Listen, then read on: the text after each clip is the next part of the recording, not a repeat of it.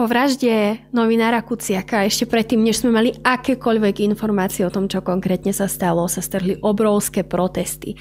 Ľudia volali a politici volali potom, aby Robert Fico okamžite odstúpil z pozície premiéra, pretože napriek tomu, že nemali žiadne dôkazy, tak ho obviňovali z tej vraždy Kuciaka.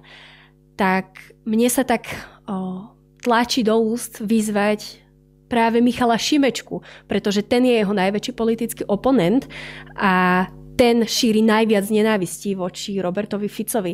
Tým, ako na ňo útočí, tým, aké o, nezmyselné protesty neustále robí a na ktorých sa častokrát vyskytujú nenávistné prejavy, ktoré povzbudzujú tých ľudí k tomu, aby páchali aj nenávistné činy bez ohľadu na to, kto ten útočník bol.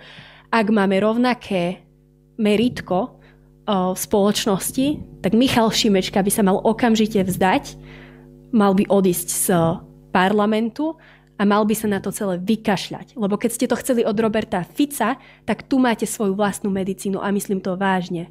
Michal Šimečka, odiť z politiky, ak naozaj si proti tej nenávisti. Pretože ty si toto rozpútal. Ty ľudí neustále vyzývaš do ulic bojovať proti Robertovi Ficovi. Kvôli tebe sú na internete videá, ako malé deti skandujú Robert Fico je hnusný, odporný a neviem čo ďalej. Si to ty. Lebo aj keď hovoríš o tom, že odsudzuješ nenávisť, aj keď hovoríš o tom, že chceš robiť slušnú politiku, tak to nerobíš. Robíš presný opak, burcuješ ľudí, burcuješ tú nenávisť a aj dnes sme ukázali, kam tá nenávisť naozaj môže zacieliť až doslova.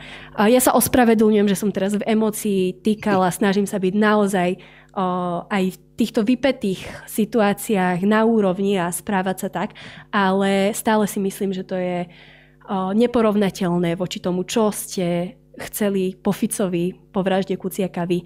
A to bola jedna z mála situácií, pri ktorých ste chceli, aby Robert Fico zbalil kufre, odišiel ideálne zo Slovenska.